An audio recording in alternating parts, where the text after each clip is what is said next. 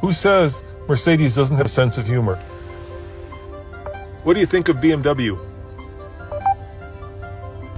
The same as you. Otherwise, you would not be sitting here. Here are the insane features in the back seat of the Mercedes Maybach GLS 600. Let's take a look. Back here is the champagne fridge built to hold two bottles, and this is where you keep the champagne flutes. Lift up the center portion here, and both rear seats have picnic tables like you'd find on a business jet.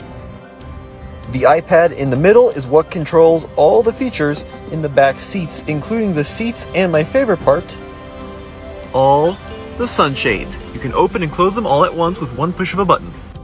The seats, of course, massage, they can heat and cool your back and bottom, and they lay just about flat, perfect for those long road trips. When you open up this cubby, you'll find two cup holders, and you can heat and cool both cups. And finally, this right here is the wireless phone charger, so you can still see your phone while it's charging up.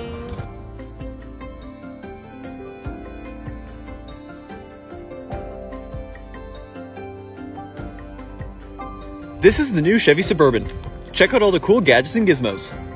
There's an unlabeled button here in the ceiling that slides the center armrest. When you slide the center armrest all the way back, you get a secret cubby. These steps deploy automatically when you open the door. You select a gear by using these buttons. There are buttons here in the ceiling to automatically lift the back seats. You can also raise and lower the seats using these buttons and switches in the back. The new Suburban can also project important information on the windshield glass. This new Chevy has these big screens in the back for movies, music, and navigation. This Suburban has tons and tons of different camera views. Check out the insane features in the back seat of the brand new Kia Carnival. Now all three of these seats slide, but the middle one in particular goes back like three feet, which gives it the best rear seat legroom in the entire industry. This is better than like a Rolls Royce.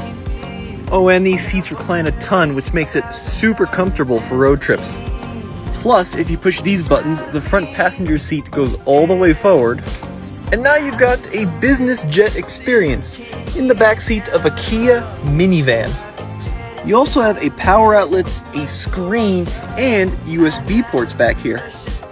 And I almost forgot underneath here, there are more seats for additional friends and, of course, activities. And even if you're in the way back, you still get a USB port and privacy shades. This is the brand new fully electric Rivian R1T. Check out the insane gadgets and gizmos. The key is a carabiner and it will actually tweet when you lock it. Open the door and you'll find a built-in flashlight. Unlike most pickups, the R1T has something called a gear tunnel, which is this giant pass-through for storing and hauling stuff, and this cover is rated to up to 250 pounds. Does your pickup have a front trunk? This is all electric, so there's no engine, so instead you get this giant front trunk. Under the center console is a giant removable speaker. This is great for tailgating. Pull it out, it's fully charged because it charges up as you drive along.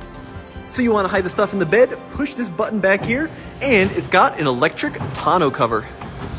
Back here on the left side of the bed is an air compressor rated to up to 150 PSI.